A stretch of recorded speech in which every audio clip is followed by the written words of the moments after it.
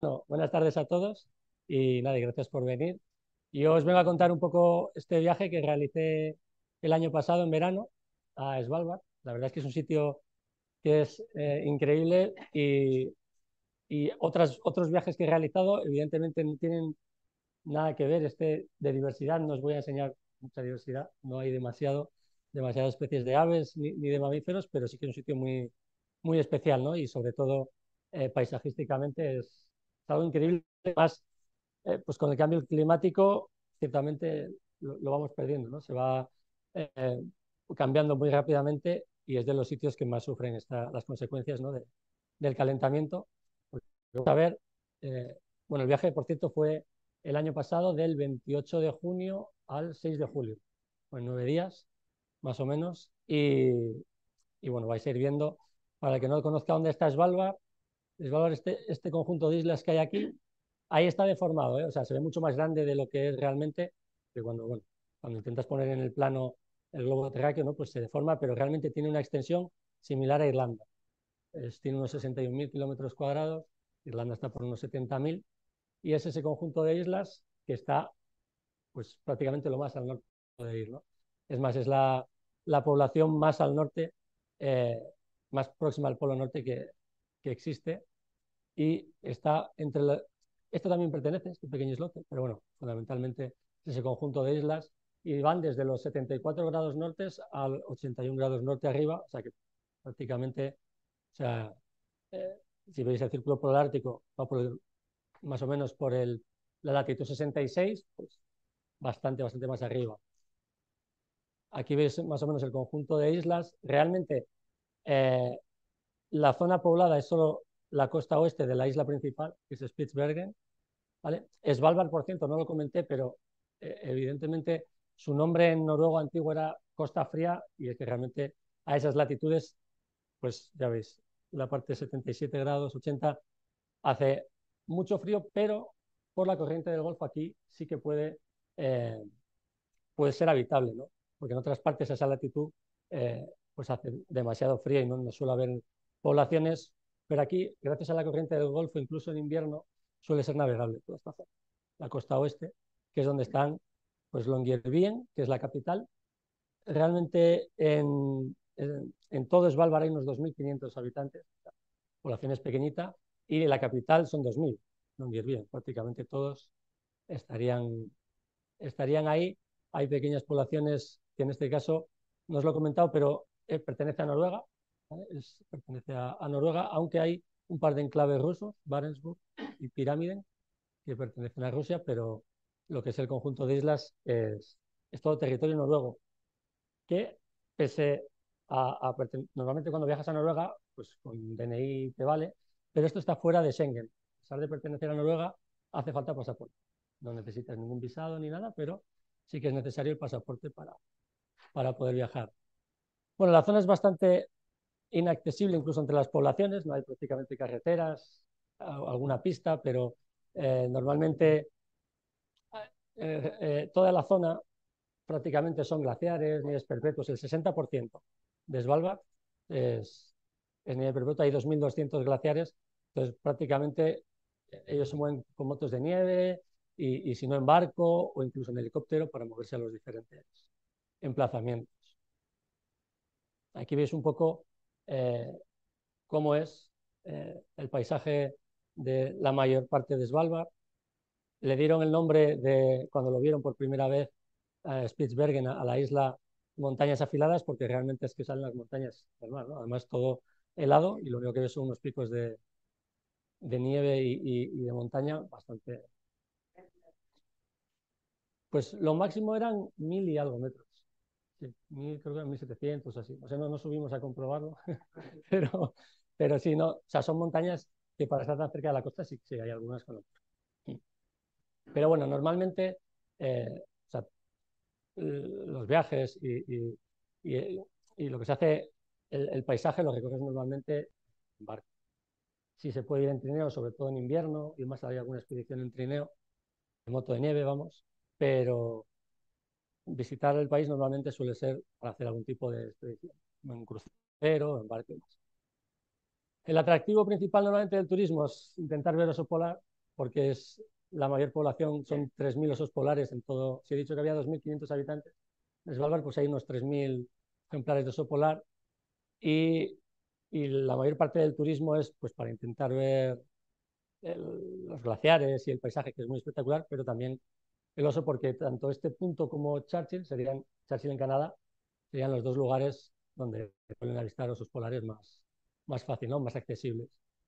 Y, y, bueno, en este caso, esa señal en la capital, en Longyearbyen, es la única zona, por decir así, segura en la que puedes ir mm, pues, sin ir armado, por decir así, ¿no? Pero incluso ya en los extremos, a las afueras de la ciudad, ya tienes estos carteles que te indican que puede haber presencia de oso y entonces estás obligado a ir armado. Y normalmente lo que allí no se suelen dar rutas pues, de, pie y demás si no vas con un guía. Y el guía suele ir armado eh, y suele llevar también una pistola de, aparte del rifle, eh, una pistola de, de, bengala, sí, para intentar ahuyentarlo, porque está prohibido cazarlo, evidentemente, y solo está permitido dispararle si ves que peligra tu vida, porque está a menos de 50 metros el oso y se está acercando. Entonces, eh, incluso aún así, si matas un oso, hay una investigación. No, tienes que demostrar que realmente estabas cumpliendo todas las medidas de seguridad y no estabas haciendo algo que, que provocó que tuvieses que, matar al oso. Pues bueno, ese es uno de, de, los atractivos y, y, el paisaje. Y sobre todo ya veréis las fotos, pues es, es muy espectacular, ¿no? Lo normal es ir en, un crucero, una, expedición en barcos, que hay un par de empresas sobre todo, yo creo que esta es la principal, Ocean White Expeditions, que tiene tres barcos. Si veis, eh, hay diferentes empresas de, que organizan viajes allí, pero si luego miras el nombre del barco que vas a ir, suele ser el Plancius, el Ortelius o el Ontius, que son los tres de, la compañía esta. Y aunque también los Hurtigruten también hacen algún tipo de, ruta por allí. Y este tipo de viajes, básicamente, eh, ahora os lo enseñaré, hay dos recorridos que hacen en función de la época del año y lo que van haciendo es ir recorriendo la costa y se hacen cada día más o menos un par de paradas, paradas, un par de, salidas en Zodiac para eh, pues, poder hacer un pequeño recorrido por la costa y ver la fauna que haya, o en algunas ocasiones sí que bajas a pie, en otras eh, solo vas con, la Zodiac, pero bueno, ya, iréis viendo más o menos, como veis, las llevan las Zodiac ahí cargadas, pues un par de veces al día, salvo en la época en la que estás en una zona, en la época, salvo los días que estás en más al norte que no se puede bajar, el resto de días sí que haces una pequeña expedición. Y esto es lo que os comentaba. Hay dos mm, recorridos principales. Estos cruceros son más o menos del 1 de julio al 1 de septiembre que se realizan. Pues los que recorren solo la costa oeste y el norte suele ser del 1 de julio al 1 de agosto.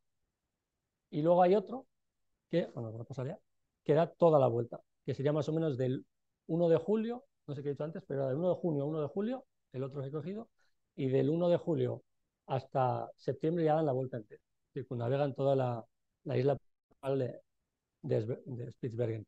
Antes no lo hacen porque realmente eh, incluso este recorrido que pone que son siete noches, eh, el, recorrido de, esta, de este crucero, eh, realmente todo esto es en función de cómo esté el hielo marino, porque como veis esto que se dibuja en blanco es el hielo marino, la banquisa, que realmente desde el polo norte llega hasta ahí y en época de invierno está totalmente imposible el, acceso hacia el norte, pero a partir de la primavera se, va retirando hacia poco a poco la banquisa y va permitiendo el acceso. Entonces, en función del el año, se puede acceder más adentro o no, y, hay años que en junio se puede dar toda esta vuelta y otros que quedas por aquí o incluso que se van a hacer la parte sur porque no se pueda acceder para el norte.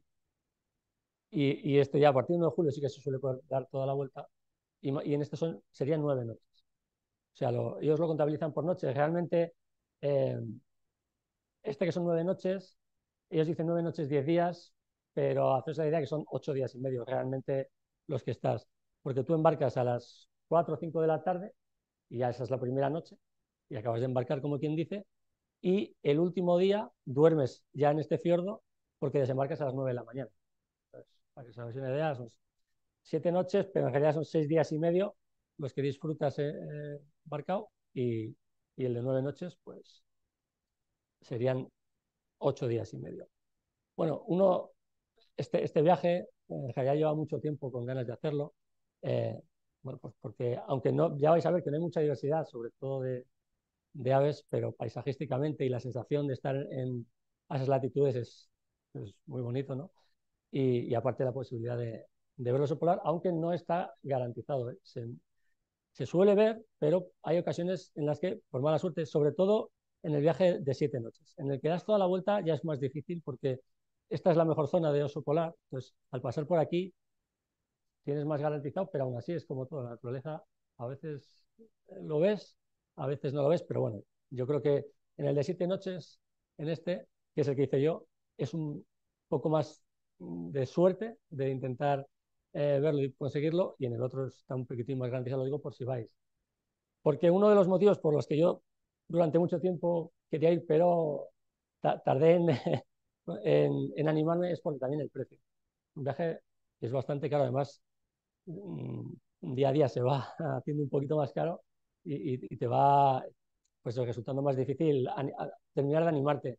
Porque os hagáis una idea, yo cuando estuve en Argentina hace en 2007 creo que fue, esta misma compañía, además de los viajes en el Ártico, hace los viajes en la Antártida. O sea, por decir así, en el verano del hemisferio norte hace estos viajes y en el verano austral, o sea, en nuestro invierno, se van con el mismo barco y te hacen el viaje desde Ushuaia para ver pues la Antártida, ¿no?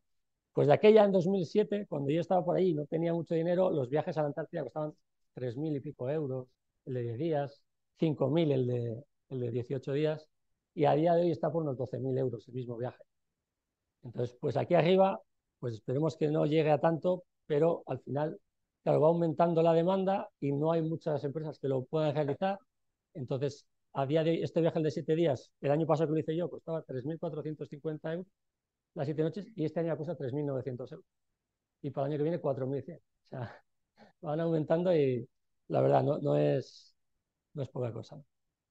Y os sacaba esta foto también porque Mm, los viajes en verano que os he dicho para ver el oso polar, eh, eh, en realidad es eso, del 1 de julio al 1 de septiembre, pero esta zona también tiene cierto turismo en invierno, porque de más o menos de finales de octubre a mediados de febrero es completamente de noche, o sea, esa latitud, no hay sol una hora del día, entonces un sitio bueno también para, para ver auroras boreales y es el otro turismo que tienen eh, bastante, pues para la época de invierno, que tiene bastante fama. Lo que pasa es que también, no sé hasta qué punto, eh, porque yo he visto que es, hay bastante nubosidad en la zona. No sé ¿Qué tal se ve? Hombre, habrá días buenos, pero, pero es cierto que es bastante nuboso. No hay unos cielos muy claros tampoco muchos días.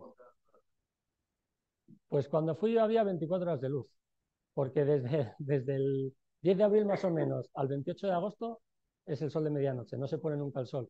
Pero además es que cuando fui yo, que fue justo a finales de junio, es que el sol se te queda muy alto en el horizonte. O sea, no, no, no baja, no, o sea, no sabría decir la, altura, pero como si fuera las 5 de la tarde, ahora de esta época que todavía queda una, una pico meterse, queda bastante alto. O sea, no, no, no dejas de... Auroras no puedes ver, solo se ve, solo, tienes luz solar y por eso es importante también la crema solar y demás porque, porque está todo el gato tiene insolación y, y bueno, vamos a pasar a las fotos, que esto era un poco una introducción de... Sí. ¿Le doy a pasar o? Y, y, bueno, eso, ahora os voy a contar un poco la experiencia ¿no? de, del viaje en sí. Bueno, esto simplemente es que no hay vuelo directo a Longyearbyen, entonces normalmente hay que hacer escala o en Oslo en Tronso.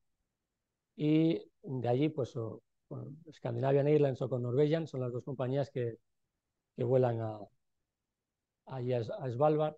Eso es lo que ves cuando llegas, ¿no? Pues, pues, picos nevados, la verdad es que es muy espectacular, un mar de nubes y solo ves picachos de, nieve y da un poco de cosas y dices, ¿dónde vamos a aterrizar? Porque, o sea, son tres horas desde Oro, está a bastante distancia, unos 2.000 kilómetros y, es bastante espectacular la llegada. Esto nada, simplemente eh, era una foto que no se ve nada bien, pero este es el Banco Mundial de Semillas, por si alguno lo conoce, que es, un, es una, bueno, es privado en realidad, pero bueno, muchos países envían allí pues para una especie de arca de Noé de las semillas de las plantas alimenticias, ¿no? Pues de todos los cultivos que hay en el mundo. Pues se intentan conservar ahí. No se puede visitar. sí que hacen algún tipo de excursión para ver el exterior, pero evidentemente es de alta seguridad y no, no se puede, no, no, dejan visitar el interior. Pero bueno, que está ahí al aeropuerto, el aeropuerto está a dos kilómetros de, de Longyearbyen, capital, y bueno, que sepáis eso, que es que está justo ahí en, desde el aeropuerto se ve.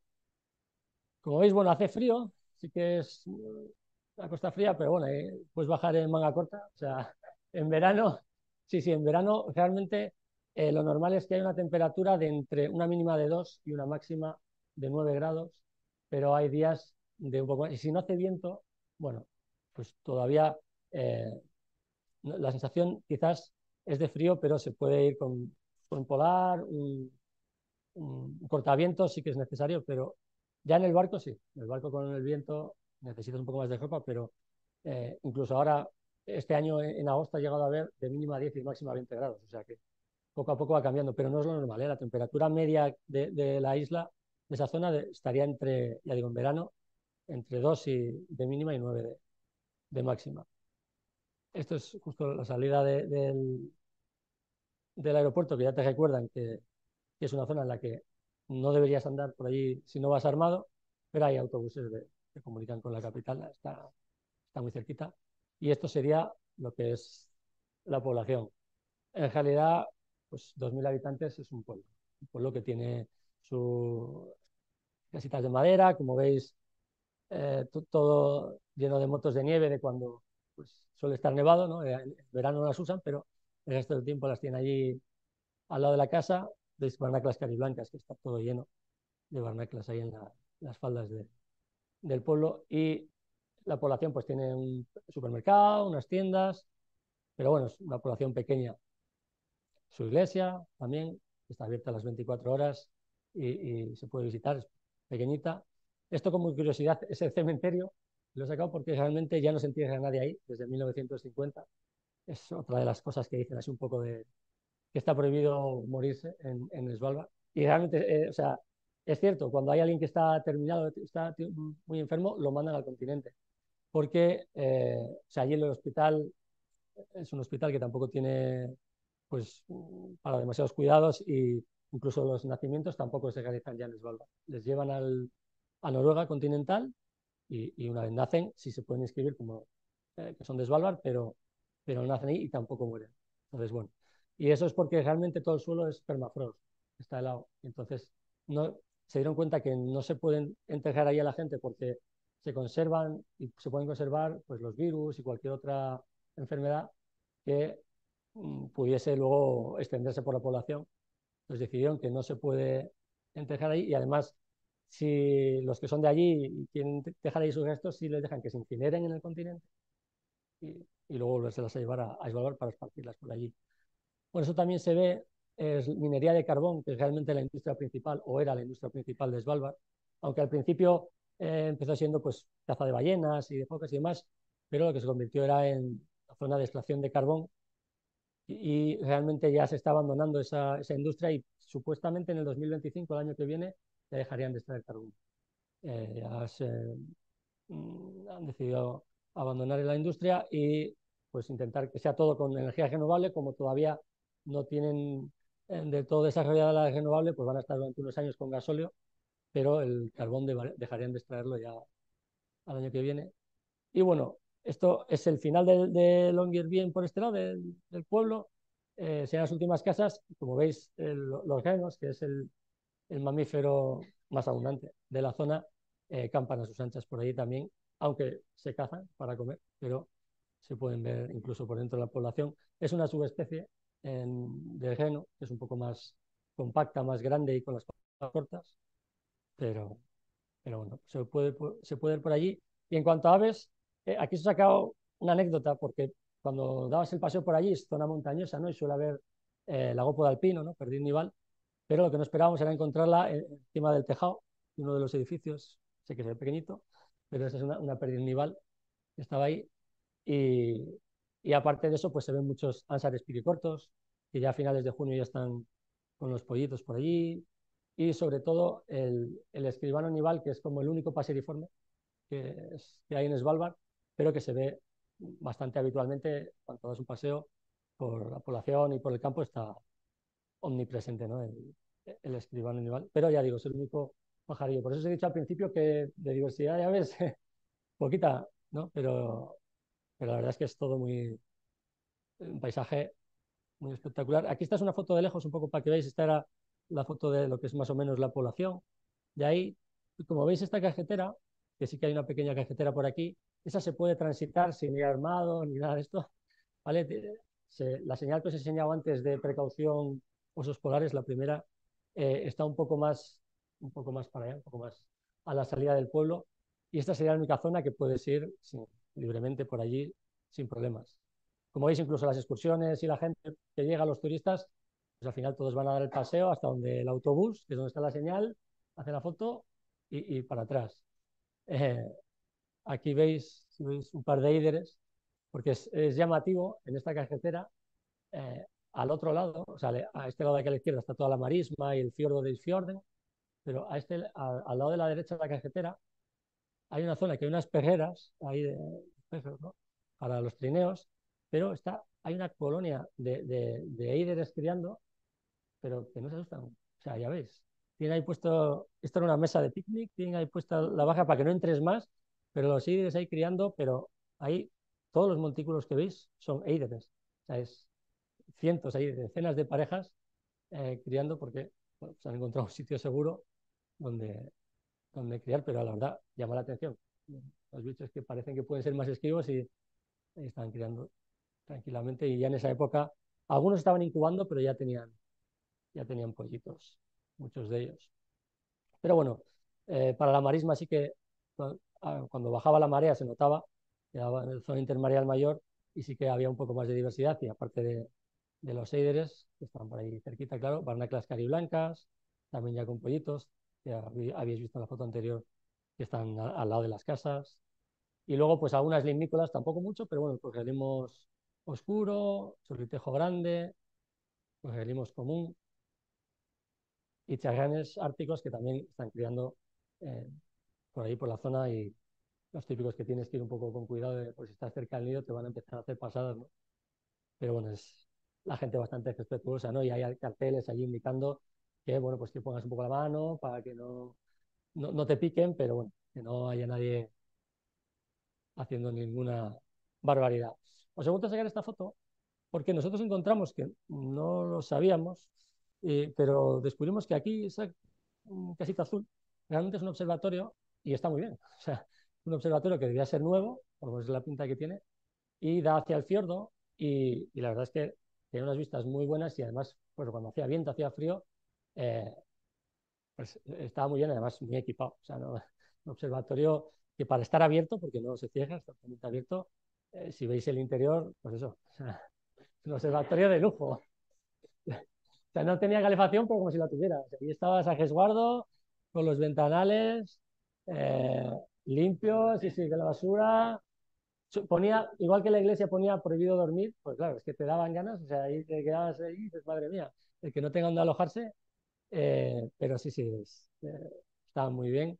Y bueno, este por cierto es el, amigo con el que fui al viaje, que fui con un pajarero asturiano, que, que, trabajamos juntos también y fuimos, hicimos juntos este viaje. Y, y, bueno, y eso, y desde este observatorio la verdad es que eh, había buenas vistas en la zona así, sobre todo cuando bajaba la marea y se veían aves acuáticas, ¿no? Pues pues aviones hiperbóreos, eideres. Aquí, si buscabas un poco, y con un poco de suerte, si os fijáis, aparte del eider común, también había eh, eider real, sí. Que no es que, no es que aquí hubiera muchos, porque en realidad nosotros en Longyearbyen estuvimos dos días antes de embarcarnos, o día y medio, y uno de los días lo vimos y el otro no. Pero bueno, pero siempre hay que echar por ahí un ojo porque eh, también paga los parásitos hay bastante. Este que dejó aquí la nota musical de la que pasaba. Dijo, voy a echar aquí, ya que hay pocos pájaros cantores, ya he hecho yo la, la nota musical. El gavión hiperbóreo, pero bueno, es que eso están, sobre todo en la colonia esa de donde criaban los, los estaban ahí encima esperando a que se movieran y de vez en cuando, como se apartase mucho una hembra de los huevos o tal, allí bajaban a intentar depredar sobre, sobre los nidos. Y lo que no, bueno, yo tengo que dar, también las gracias a Alejandro García Guerra de Aves Cantábricas, que, me dio un poco, yo había visto su charla hace años de cuando fue allí, Me dijo, pues tú echa por ahí un ojo porque a veces se ven la gaviota marfil, que está de aquí, que realmente es eh, eh, pues el, ave eh, que más te puede atraer para, llegar para ir allí, ¿no? porque es una que sí que es cierto que es muy difícil verla en cualquier otro sitio y, y, y en Svalbard pues sí la vas a poder ver, es como el bimbo del viaje, ¿no? la especie nueva que vimos, porque realmente todo lo demás nosotros ya, ya lo habíamos observado, pero aquí, aquí sí que incluso en la propia capital se puede llegar a ver. Pero bueno, ya nos embarcamos. Esta foto simplemente es para que vieres bueno, otra embarcación que también realiza viajes, eh, pero en este caso los otros, eh, este otro, es el barco en el que nosotros montamos, que es el Plancius, son antiguos rompehielos rusos y estos sí se pueden adentrar, un poco en la banquisa marina. Eh, el otro no, el velero hacen viajes un poco más tranquilitos y demás, pero para viajes fotográficos eso también está bastante bien. Este es el momento ya del embarque aquí subiendo las maletas y demás, eh, un poco curioso, ¿no? en vez de subir las otras, no, no, déjalas aquí que ya las subimos nosotros, las meten una red y, para adentro. Eh, bueno, esto también para que veáis un poco las cubiertas. Estas cubiertas cuando no estaban haciendo ninguna obra, o sea, ningún ejercicio así de, de, de atraque o desatraque y demás, se podía, eh, podía pasear o se podía acceder a cualquier parte, incluso esta parte de aquí delante y demás para cuando estaban observando la, fauna.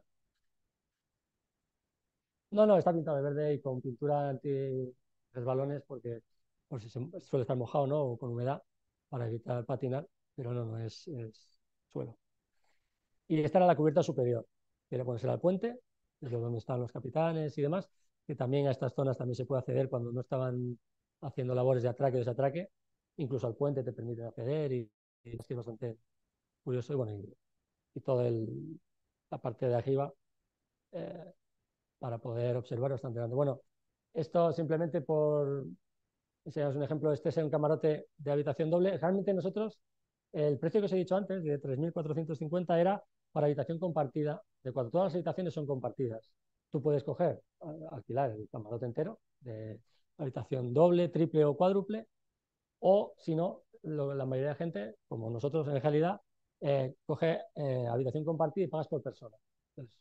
en este caso, lo que pasa es que nosotros cogimos el precio de 3.450 era para una habitación compartida de cuatro, pero no sabemos en qué momento mm, nos pasaron a la de dos, o sea, a la doble. Algo no les, les cuadraría mejor de cuatro que fue, porque realmente ellos no mezclan em, chicos y chicas, quiero decir, son compartidas, pero de hombres o de mujeres, incluso si van parejas, conocimos alguna pareja española, iba chico y chica, pero si tú no reservabas la habitación completa para ti, pues el chico iba en una habitación con chicos y la chica con chicas.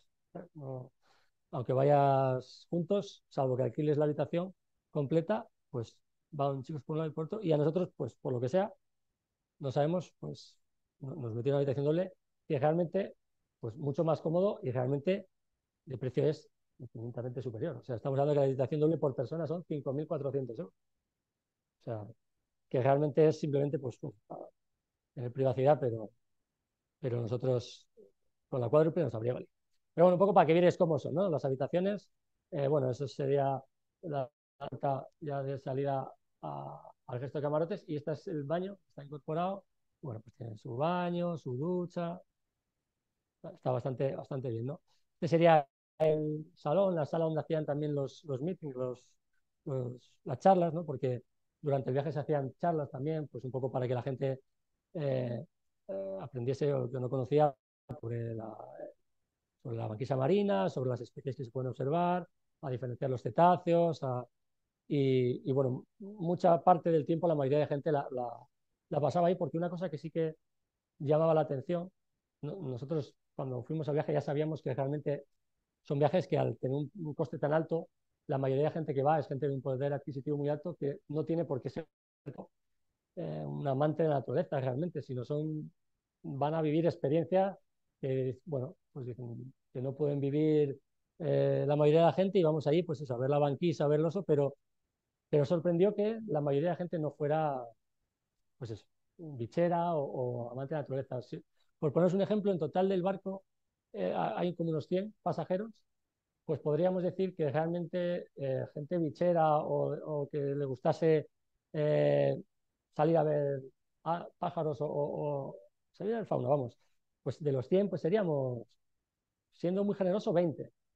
Pero siendo así jarista, unos 10 o 12. O sea, a gente que estuviésemos buscando animales activamente, que no esperásemos que los guías nos trasen, pues estaban entre 6, 8, 10, por arriba pululando y la mayoría de gente, pues, pasando aquí en, en, la zona del salón, que tenía también un pequeño bar, una biblioteca.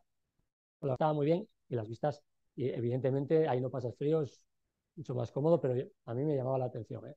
No, no serán todos los viajes así, porque habrá viajes donde coincidan que hay más gente más bichera, pero en el nuestro, es que, ah, vamos, es que la mayoría de gente se pensaba que nosotros pertenecíamos al staff. O sea, porque como estábamos siempre fuera buscando y tal, creían que éramos parte de, del equipo de ahí. Nosotros, hemos venido pagando también, queremos ver bichos, pero sí, pero estamos activamente buscando. Bueno, y esto sin más, esto es el comedor que, normalmente es comida buffet al mediodía. Bueno, se desayunaba a las siete y media de la mañana, luego había un buffet al mediodía y por la noche solía ser de carta. Tenías dos o tres platos a elegir. Y, evidentemente son viajes eh, caros y la gente que va, pues paga ese viaje y ya la comida y demás es de un nivel alto. O sea, yo no había comido también en mi vida diariamente, o sea, esto es sea, muy bien preparado. Claro, evidentemente también lo estás pagando, ¿no? Pero, la verdad es que comer es espectacular. ¿eh? Bueno, y este es el viaje que realizamos nosotros. Aquí este sería el final, la foto hecha de cuando pintaron el final de lo que hicimos, pero bueno, lo enseño para ir un poco desgranando cómo fue el recogido. Como veis, nosotros no accedimos ni a las Seven Islands que están más para allá, ni a este fiordo, ni a este otro. Solo nos quedamos por la costa oeste y un poquitín por el norte, porque lo que os decía, esta es una imagen de, bueno, de una web que hay del Instituto Meteorológico Noruego, de la, se llama la web, si alguno tiene interés, crio.met.no, que es de, bueno, que te va enseñando eh, el hielo marino, cómo, cómo está en cada día. Ya tienes fotos, tanto del Ártico como ahora de la Antártida, pero bueno, antes era solo del Ártico, y en este caso de Svalbard, cómo está el hielo marino, en qué, en qué posición está. Entonces, hay desde la parte gris oscuro, o sea, el gris clarito sería tierra, gris oscuro es el hielo compacto, hielo que está unido a, tierra, y luego el rojo, de, rojo hacia, hacia el azul va de más eh, hielo compacto, o sea, más, sí, más compacto, más denso, a hielo un poco más, eh, pues a la deriva. En realidad es todo hielo a la deriva, pero este rojo compacto, naranja un poco más abierto, aquí lo veis eh, también la, en la leyenda, eh, y el amarillo ice, que sería el hielo abierto a la deriva, que es hasta lo que el barco puede llegar a, navegar. El barco, el amarillo más o menos lo navega, pero ya el naranja y el rojo, a pesar de ser eh, rompe, rompehielos, pero los utilizan a día de hoy más pues como para ir empujando el hielo, placas de hielo móvil, pero si el hielo está sólido, compacto, por ahí no, no se metían. Entonces nosotros, toda esta parte, la foto, pues no se ve porque lo tapa lo de compartir, pero da igual, eh, era el día 29 de julio de ese año, que es cuando empezamos nosotros la ruta desde aquí. Y ese, ese año eh, esta parte todavía estaba que no se podía acceder. Que luego en una semana o así se quitó, ¿eh? se va reteando muy rápido, pero coincidió que nosotros no, no, pudimos acceder más para allá, si nos metimos a este fiordo, pero no pudimos acceder a, a esta zona de aquí. Pero bueno, el, primer día, básicamente, pues después de darte la charla sobre cómo sería una evacuación en caso de hubiese algún peligro o algo, pues se hacía un pequeño recorrido para llegar a esta zona de aquí y ahí se dormía para el día siguiente empezar a, hacer las rutas. Porque como digo, embarcabas sobre las 4 o 5 de la tarde, al final no salías de esta zona hasta las 7 de la tarde o así. Era más o menos la hora de cenar, cenabas y ya el barco se dirigía hacia esa zona. Cuando salías del, por el fiordo, evidentemente vas viendo aves marinas y esas zonas próximas a la costa, pues es donde más eh, veías más diversidad, ¿no? Pues fulmares, ¿no? Que se veían bastante. Luego también frailecillos, mérgulos atlánticos, que era, eh, es muy abundante, incluso estando en la capital, desde los acantilados se ven salir volando, eh, están criando por los acantilados y salen a buscar a ver, y luego entran, y el mérgulo es otra de las especies que también es, Quizás la, más abundante, la, que más vimos. Arao de Brunitz también se ve. Y es también hay colonias por allí. Y bueno, y el, y el blanco. Y ya saliendo por el fiordo, ya se, los rorcuales aliblancos es el cetáceo más que más veces se ve, más abundante. Sobre todo porque en las zonas de fiordo que hay menos profundidad suele ser el único que se, que se introduce y también belugas y demás, pero así como grandes cetáceos, el, el blanco era el primero que vimos. Y ya cuando te vas alejando de la capital, ya se empiezan a ver grandes eh, glaciares, pero eh, de momento con menos nieve que, como habéis visto en la otra foto, que había bastante, bastante más. ¿no? El primer día, cuando ya llegas a, después la mañana siguiente, eh, lo que te desembarcan es para ver, ahí veis, una colonia de morsas, que suelen ser machos todas, porque las hembras suelen estar un poco más al norte, en la zona de hielo, para criar en esa época. Entonces, tienen allí controlada esa zona de, de morsas y, es lo que, decías. También alguna idea real pasaba por allí volando. Y más o menos el desembarco era más o menos siempre el mismo. Primero ellos tenían que hacer un recorrido, los guías por allí eh, vigilando que no hubiera ningún oso polar, porque si no, no se podía desembarcar. Y aún así, una vez ya habían comprobado que no había, bajaban primero ellos todas las armas, entonces las los rifles de cada guía, y bajaban la equipación y luego ya nos iban trayendo con las Zodiacs a todos. Ellos daban primero un pequeño recogido de inspeccionando que realmente, porque claro, a veces ellos por la Zodiac miraban que no hubiese ningún oso, pero a veces te podía ocultar ¿no? la, orografía que estuviese de demás y se daba un pequeño pase antes de, de llevarnos a los demás. Y aquí la primer sitio donde estaban las morsas, una playa enorme, y llamaba mucho la atención la de troncos que había, estaba lleno, lleno, lleno, pero lleno de troncos, y sobre todo llamaba más la atención cuando por allí miras y no hay un árbol, porque realmente es Svalbard no hay un árbol, es solo hay vegetación de tundra. Eh, lo que puedes ver son musgos, eh, líquenes y, plantas herbáceas o arbustos rastreros, pero no hay ningún árbol. Todos esos árboles eh, proceden de Siberia, de la Siberia rusa, que las corrientes las terminan llevando, y la basura también, a las playas de, de Svalbard. Y aquí también me llamó la atención que desde lejos pensé que eran rocas y cuando te acercas pues eran vértebras de, ballena, alguna ballena que había, que había muerto y también puedes ver por ahí por la playa las vértebras ya antiguas. ¿no?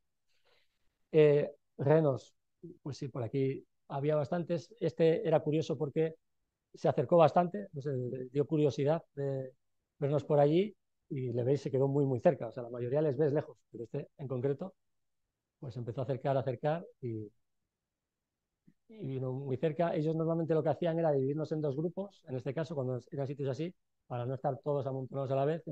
Ellos estaban viendo las morsas mientras nosotros dábamos un pequeño paseo y, viendo, pues buscando aves. Ahí también había colimbo chico, vimos escribanos y demás.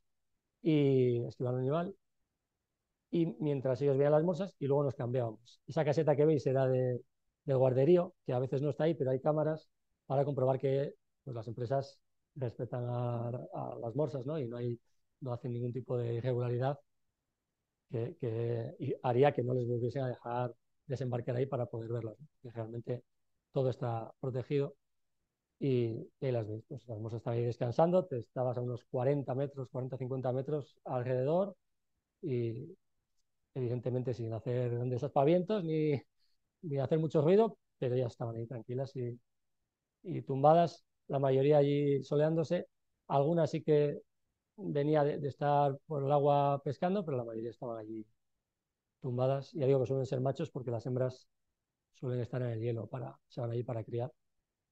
Y bueno, esta que estaba allí, que venía de, de haber estado comiendo por el agua. Bueno, y esto simplemente es, esta era una, esta casetilla era uno de los heights que tenían antes los cazadores, la zona también donde se, cazaba y ahí ese era el tipo de height que utilizaban para pasar ahí las horas y cosas y osos y, en su día pues todo lo que se cazase para allí. Bueno, y básicamente es el recogido que, que hicimos por aquí, por la, esto sería un poco también para que veáis cómo se subía y bajaba esas escaleritas pues se bajaban abajo y así es como se embarcaba y se desembarcaba de las Zodiacs. Inicialmente, cuando vas a contratar el viaje, te dicen que tienes que tener buena forma física, que tienes que tener para poder moverte, evidentemente para bajar las Zodiacs, para dar paseos, pero la realidad es que había gente con, o sea, había gente, aparte mayor, con movilidad reducida, pero incluso pues uno que llegaba lesionado iba con, la muleta y realmente no, no estás obligado a bajar. O sea, hay gente que se quedaba incluso siempre en el barco, que no hacía las excursiones, pero claro, eh, te perdías la mayoría. Realmente. Eh, ¿eh? No, no, o sea, es que claramente, incluso había alguno que, se había lesionado y lo tenía contratado y, ya no lo pudo cancelar, pues iba allí y bueno, y por lo menos mm, es cierto que sí podías bajar, porque realmente cada vez que hacías una excursión, en este caso no, era mm, verlas o quedarte viendo el otro, pero cuando hacías excursiones de andar un poco más, que también había, por ejemplo, la siguiente, que vais a ver, eh, siempre hacían tres grupos. El grupo que solo quería bajar a tierra y darse un pasito, pero estar por ahí, o sea, moverse 100 metros. Luego, uno de unas rutas más cortas, que pues era más para hacer fotos y estar viendo eh, la fauna o, o, así, pero cercana. Y luego hacía un grupo de los que querían andar Tú elegías cada vez que bajabas, elegías si ese día querías andar más o querías dedicarte más a hacer fotos o estar ahí simplemente bajar a tierra o no estar siempre en el barco, ¿no? Y un protocolo que había siempre cuando subías es desinfectarte el calzado. Por cierto, no os he dicho, pero estas botas te las daban, una especie de botas de agua así con neopreno, que eh, tú pedías el número cuando contratabas el viaje y, y, te las dejaban para el viaje. Y siempre cuando habías accedido a tierra tenías que desinfectarte en el líquido que había ahí con esos cepillos para no trasladar semillas ni ningún tipo de contaminante que pudiera haber de un sitio a otro. Para que no contaminases, quiero decir, eh, con semillas las diferentes zonas donde se desembarcaba. Luego por la tarde de ese mismo día, pues, he dicho, fuimos a otro lugar para ver unos, unos fiordos y, un glaciar. En este caso nosotros elegimos la ruta media. el primer día sí dije, bueno, vamos a ver, no va a ser que sea muy cañero. Nosotros queremos hacer fotos y ver bichos, pues la ruta media, bueno, al final eran paseos, igual pasearíamos un par de kilómetros o, algo así en dos horas, o sea que tranquilamente, pero la verdad es que eh, era, bueno, pues, no paraba así. Haciendo fotos realmente valía más hacer esa ruta que la, que la de ir muy rápido porque, porque había muchos lugares donde, donde pararse a hacer fotos, ¿no? Y las barracas que blancas con y, y demás. Eso era aquí en el punto 3, que era, eh, bueno, Polipinten era la zona de las morsas, luego nos metimos aquí, y el segundo día íbamos a llegar hasta aquí. Entonces, después de hacer esta ruta que os he comentado, fuimos por toda esta zona, y esta zona de aquí, ya cuando salimos, pero sobre todo esta zona de aquí, era muy buena porque, bueno, aparte de eso, de ir viendo eh, los frailecillos por la costa, Aros de Brunich, pues bastantes, ¿no? Por todo el camino, los mérgulos también, ibas pasando a su lado, iban haciendo el vuelo, pues esa zona que os decía, de, pasando por encima de la, de la, isla de France, es el mejor sitio que pasamos de cetáceos. Ahí sí que era una zona que era más profunda y además se veía, ya los veías de lejos. Empezás a ver los grupos de gaviotas en el agua y dices, ahí hay algo. Y, y vimos varios grupos de, en este caso, ballenas jorobadas, que luego conseguimos acercarnos a alguna pero, pero vamos, estaba, era como una zona donde estaba, debía haber mucho alimento porque estaban concentrados tanto algún rorcual blanco como los ballenas francas como los rorcuales comunes. Y, sí, sí, este es el soplo, esta es la cabeza, sí, la aleta. Y, y aquí, esto, estos, o sea, en ambos dos casos llegamos a, llegabas a estar muy cerca de ellos, ¿eh? o sea, los detectabas cuando estaban pero, pero los barcos se acercaban, o sea, el barco se acercaba expresamente a, a intentar verlas de cerca, claro. Rorcual común. Sí. hay básicamente eso, ballenas jorobadas, rorcuales comunes y algún rorcual blanco, pero los blancos les veíamos más en los fierros. Bueno, este salió, es que salió al lado del, barco, la, jorobada, y, y, sí, la verdad es que este, o sea, lo gozamos. Eh, esa tarde, que era tarde-noche ya, pero, pero esa es, el barco estuvo expresamente, o sea, no es que pasásemos por allí y los viésemos, no, no. Fue para verlos y estar allí disfrutando de ellos y, y sí, sí, se, disfrutaba. Este, esta foto es de lejos, pero es una ballena azul, que es la única que vimos en el viaje, y esa ya no la vio casi nadie porque ya habíamos visto casi todo, y lo dicho, pues habíamos cenado y demás, y ya eran las doce y pico de la noche, pero allí no había noche. Entonces, pues el amigo yo y algún otro, pues nos quedamos allí al lado del puente mirando durante bastante más rato, hasta las 2 de la mañana, y, coincidió que eso, que a una de la mañana, pues vimos el, la ballena azul, pero a esa ya nos aproximamos, o sea, ya íbamos camino del norte, porque al día siguiente eh, lo que hicimos fue un desembarco, pero sin llegar a, pisar tierra, sino simplemente en las Zodiacs para eh, ver uno de los, de los frentes glaciares que estaba ahí contra un fiordo. Era muy espectacular. Como veis, había mucha niebla, la verdad le daba un aspecto todavía más eh, épico al lugar, aunque no nos estaba dejando ver realmente la magnitud del lugar, porque sí que luego se despejó y, era importante eh, verlo totalmente despejado, ¿no?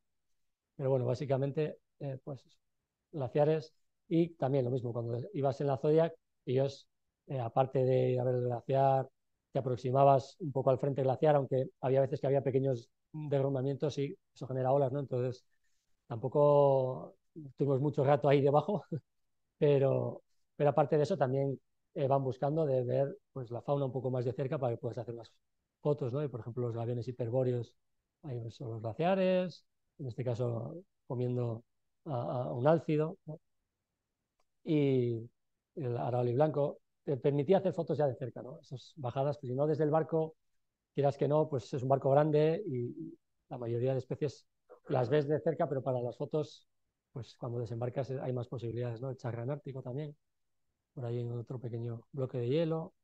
Y aquí había, en este, en este fiordo sí que había un grupito grande de, de reales, como veis, de diferentes edades, machos, macho más joven, hembras, había, había unos cuantos. Y alguna foca, hasta el momento solo habíamos visto otra foca como esta, que es foca común. Se pueden ver varias especies de foca, pero hasta ahí solo habíamos visto la foca, la foca ¿no? la foca común. Y esto es cuando se despejó un poco, ya nos estábamos alejando, pero cuando se despejó, ya digo, es que el, paisaje, o sea, la magnitud del lugar es es increíble. ¿no? Eh, aquí una foto de tres belugas. no, nos acercamos a ellas porque estábamos trasladándonos desde ese fiordo hacia, hacia el segundo punto que íbamos a desembarcar por la tarde y coincidió pues, que justo pasaron unas belugas y, conseguimos verla, pero lo mismo, las vimos pues siete, ocho que estábamos ahí arriba, porque realmente mucha gente mm, Evidentemente en este momento era la hora de comer y es más normal que de repente no muevan a todo el barco para decir que hay belugas, estás comiendo, les dejan de comer, pero, pero en otros momentos eh, realmente ellos te avisan si hay un oso polar o, bueno, igual si había belugas también, pero hay gente que está en el barco pensando que en cualquier momento, oye, pues me van a avisar que hay que ven algo. Pues si no estás en el puente o no estás arriba en la cubierta viendo, pues vas viendo muchas cosas que el resto se las pierde. Entonces, realmente cuando te gusta ver bichos y tal, pues estás ahí y eres el que los vas viendo. Pero esto, por ejemplo, es que ya digo, vimos seis o siete. Y, es más, cuando luego bajabas abajo, tú no decías nada porque dices, como llegas a la que he visto Belúa, igual hay un botín aquí, en el barco. Pues bueno, luego al final lo, vio todo el mundo en otro sitio, ¿eh? pero, pero quiero decir que evidentemente, pues si quieres ver, tienes que estar. Ahí por la tarde donde te llevaban era a ver una colonia de mérgulo. Y ahí sí que como el sitio era un poco difícil de acceder, entre rocas y demás, incluso desembarcar, pues daban la opción de ir, quedarte en, la Sodia viéndolo de lejos, pero evidentemente lo bonito era ir a, era la colonia. Ellos te dejaban posicionarte en esta zona que está más gris, no sé mucho, pero hay una parte más blanca, que es donde realmente está la colonia de los, de los mérgulos ahí criando, y en la parte gris, que es donde no suelen estar, pues bueno, te dejaban acceder para que estuvieses, buscases un sitio donde quedarte quieto porque evidentemente cuando entrabas, pues eh, les molestaba. Ahí veis los que no hacían, no iban a tierra, pues bueno, les daban un paseo en la zoya para que vieran la colonia. Pero bueno, realmente, pues claro, cuando entrabas sí que echaban a volar, muchos de ellos, claro, era una pequeña molestia a los mérgulos, pero eh, enseguida a los cuatro o cinco minutos los mérgulos volvían a su zona y se volvían a posar, entonces, claro, podías estar realmente pues, pues al lado de ellos, sin moverte, allí quieto, en un sitio que habías lanzamiento que tú hubieras buscado. Y, y, ahí la verdad es que pues la colonia es muy grande de, Mérgulo y, y, les puedes hacer fotos, pues todas que estuvimos ahí hora y pico hasta, hasta que te cansas ¿no? de, de hacer fotos. Y, y bueno, e, e, es una de las experiencias, ¿no? Estar en una colonia, además en silencio, el, ruido, ¿no? De, de todos los mérgulos y demás, pues era, bastante impresionante, ¿no? Y bueno, y después, eso era aquí, los Mérgulos en este punto 5, y ya los dos siguientes días era la mejor opción para oso polar, ¿no? que era uno de los objetivos mm, del barco la mayoría. O sea, realmente este viaje, eh, solo por ver la banquisa, el, hielo marino, ya merece la pena. O sea, y el paisaje es increíble. Pero la mayoría de gente lo que va paga allí es por ver el oso polar. Y no, ya digo, no está garantizado. Entonces, eh, gente que se puede llevar una decepción si, si, si, si luego va y no lo ve, pero es que es posible no verlo. Entonces, los dos días siguientes, que eran los que nos metíamos en esta parte de fiordos y íbamos a navegar por la banquisa, eran los dos días que había realmente posibilidad. Aquí es cuando ya empezamos a navegar cerca del hielo marino, nos íbamos aproximando, ya se empezaron a ver alguna otra foca, en ese caso lejos, pero luego ibas pasando más cerca, esta es una foca barbuda, ¿vale? Poco a poco, pues vas pasando y ahí sí que pasas al lado. El barco navega a unos 10 nudos normalmente, a unos 20 kilómetros por hora, 10, 12 nudos, pero eh, en, aguas abiertas. Cuando llega ya a la zona donde el mar está más helado, eh, bueno, lo vais a ver un poco más adelante, ahí va entre 2 y 3 nudos, ya va como a 5 kilómetros por hora. O sea, podrías ir andando a su lado, si, si pudieras ir por el hielo, va muy despacito. Entonces también eso limita el hecho de todo lo que puedes avanzar. Una vez te metes en el hielo marino, eh, el, avance es muy lento. Por eso tampoco puedes atravesar una zona muy grande porque no te daría tiempo a, volver luego a puerto. Bueno, aparte de, las focas, pues seguía viendo mérgulos, ¿no?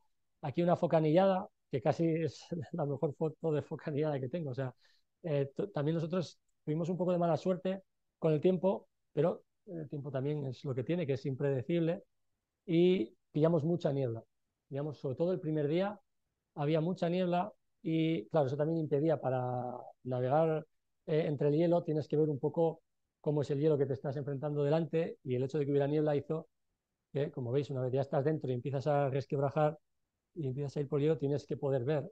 Y aunque en las pantallas sí que se puedes ver dónde está el hielo, pero no ves exactamente qué densidad tiene. A los lados del puente tenía también estas pantallas que, para que nosotros pudiéramos verlo. Y ahí si veis, bueno, la embarcación es esta, pues las zonas verdes es la zona de hielo, y es donde se puede ir guiando un poco. Pero bueno, eso hizo que eh, el paisaje fuera increíble pero también que nos limitase un poco a la hora de buscar eh, los osos que suelen estar pues, por, la, por el hielo eh, buscando focas.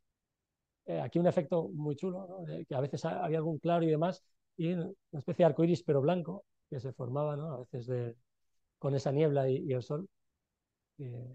muy chulo.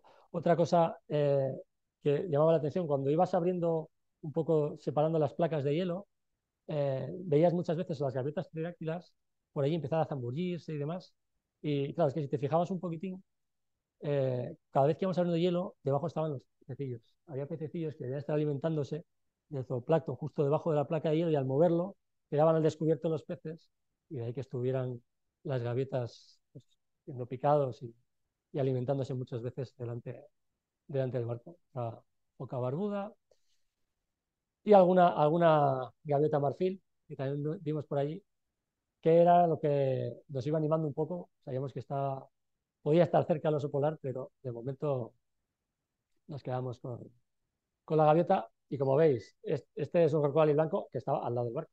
es que no, la visibilidad que había era prácticamente nula en muchos momentos. Entonces, toda la parte de los fiordos, aunque sí que había claros que nos permitió ver algo, pero eh, no conseguimos ver. Por ejemplo, aquí en esta zona, eh, normalmente, aparte de la zona de la banquisa marina, en tierra, donde acaba un glaciar, a veces hay toda esta zona de eh, pacais que llaman de, hielo compacto, ¿vale? que es eh, hielo marino pero compacto. Ahí el barco no puede entrar. Eso eh, o sea, no tiene permitido, la legislación no permite que tú puedas entrar por el hielo marino que está a la deriva, pero no por el hielo que está consolidado contra tierra, porque es donde suelen estar eh, precisamente para proteger el hábitat donde suelen alimentarse los osos. Y, y estos puntitos son focas, que las focas están por allí, justo en el borde, y, los osos es por donde van a buscar eh, alimentarse. ¿no? Y esto es muy habitual que cuando acaba un glaciar haya todo este frente de, agua helada y suelen estar ahí. Pero bueno, lo dicho, ese primer día mucha niebla y aún así, esto serían las 2 de la mañana o así, que me dediqué a hacer algunas fotos porque o sea, la, luz era increíble y, estar ahí en, el hielo y sol, pues estos son reflejos de realidad no, el sol estaría arriba, se reflejaba en, el hielo y en el, agua.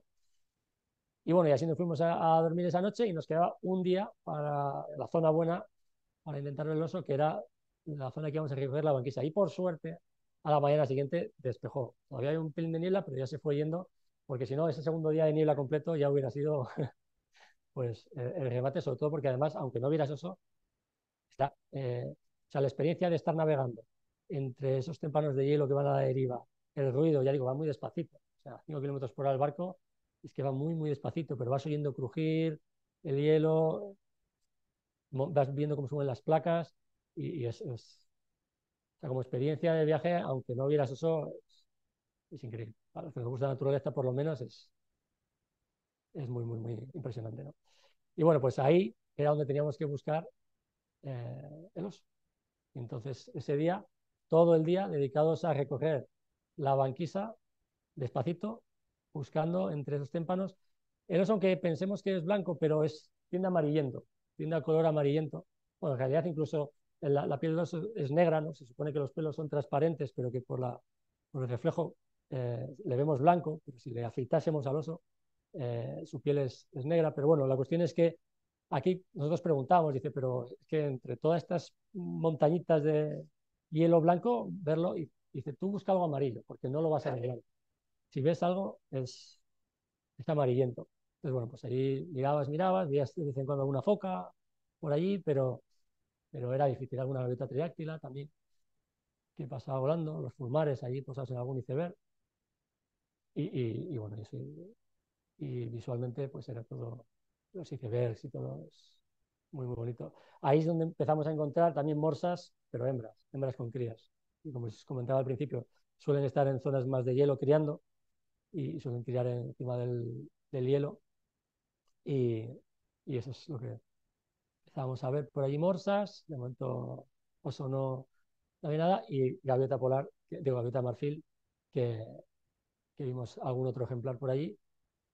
Y esto es una curiosidad que no sé si lo percibís, pero en realidad en esta imagen hay un, efecto óptico. Eh, se llama Fata Morgana ese tipo de efecto óptico. Realmente esto era como la Tierra era una cosa así, bajaría como para allá, pero se produce por la diferencia de, temperatura de la, densidad del aire, cuando la capa es fría y, luego cálida, eh, muy próxima, hay un reflejo, hay como si fuera un espejo.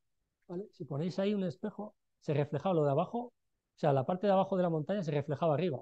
Eso hacía que incluso a veces vieras los barcos al revés. O sea, tú veías eh, el casco arriba y la vela que iba hacia abajo. Veías un reflejo, es un, efecto óptico bastante, bastante curioso, ¿eh? porque ya digo, esto que estáis viendo en realidad es el reflejo de la parte de abajo, igual que aquí.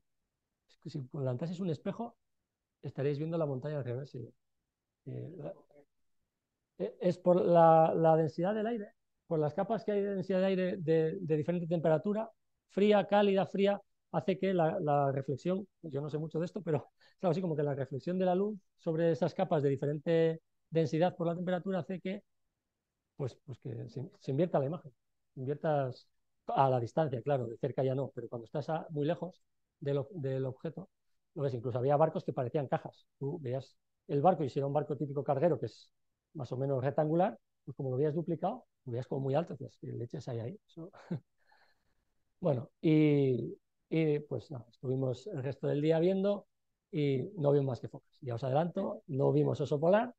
Y otra cosa que eh, a nosotros nos llamó un poco la atención es que normalmente aquí ya sería la hora de cenar y ese día, pues ellos, como normalmente ya se ha visto el oso, porque digo, son los dos días mejores, pues es el día que organizan una especie de fiesta, una barbacoa ahí abajo y de fiesta, de baile y tal. Pero claro, dices, todavía sigues navegando por esa zona.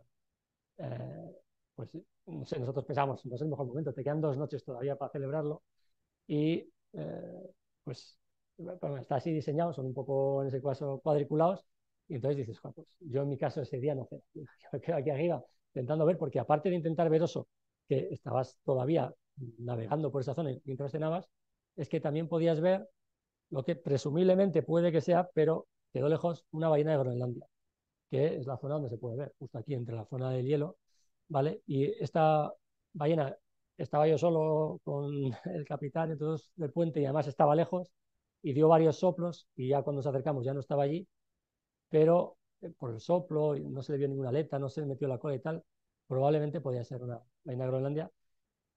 Es un soplo, sí, sí, es un soplo. Sí, solo el soplo.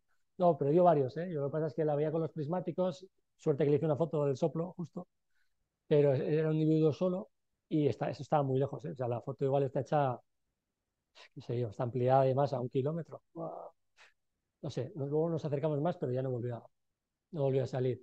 Entonces ya habríamos pasado esta zona y ya nos quedaban en realidad dos días. Un día de vuelta a esta zona de aquí, que evidentemente eh, al no haber vistoso, pues era intentar escudriñar como fuera toda esta zona, porque la mayoría del pasaje lo que buscaba era eso, ver Y, y, los guías, pues la verdad es que sí que eh, ponen intención ¿no? de, conseguirlo, pero al día siguiente ya era estar por aquí. Entonces solo nos quedaba la oportunidad de, de un día. Yendo hacia esa zona, vimos también foca de Groenlandia, que no habíamos visto entonces. Está dada la vuelta, porque era muy curioso, pero eh, vimos varias y saltando todas eh, con la cabeza abajo, ¿vale? O sea, están dada la vuelta y, va ahí saltando otro par de ellas y lo mismo, boca, o sea, mirando así, para arriba. Sí. Y bueno, y frailecillos que ya también les he sacado mucho porque era curioso, cuando estabas en, un poco a mar abierto, el resto de aves que veías las echabas de, o sea, si estaban posadas, se echaban y se iban volando y ya está.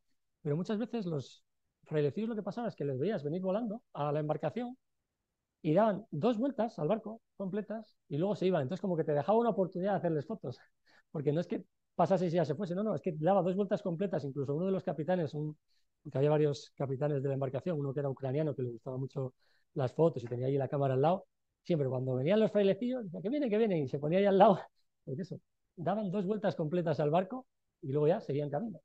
es curioso, ¿no? La actitud que tomaban.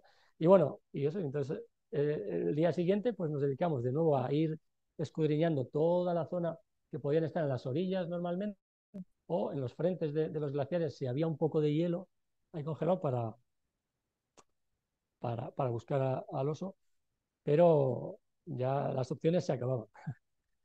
y, y este, esta, esta foto de aquí, como veis, es que en los glaciares inmensos, y ya que paisajísticamente me, merece mucho la pena.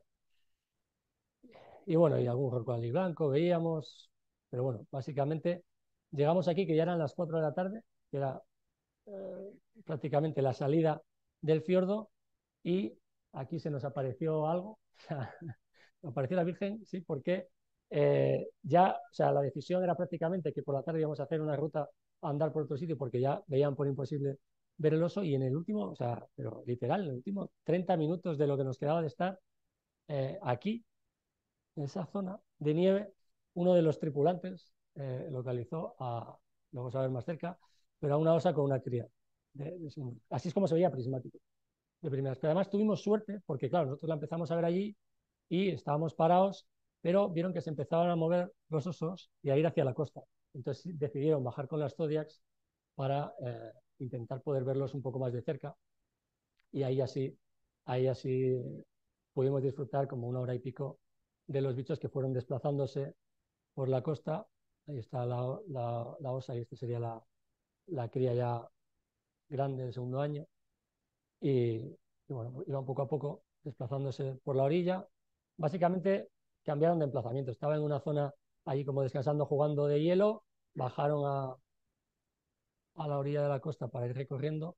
Aquí se despistaron un poco, quizás eh, por nuestra presencia, claramente, porque hay que pensar que estábamos nueve zodiacs ahí delante, pero la cría nos, miraba, evidentemente, y nos veía, se empezaba a quedar un poco atrás, y empezaba a llamar a la madre y demás, ahí un momento así un poco de, de nervios aunque estábamos a distancia, ¿eh? la foto puede cerca, pero estaríamos, no sé, 400 metros, 600 metros, algo así.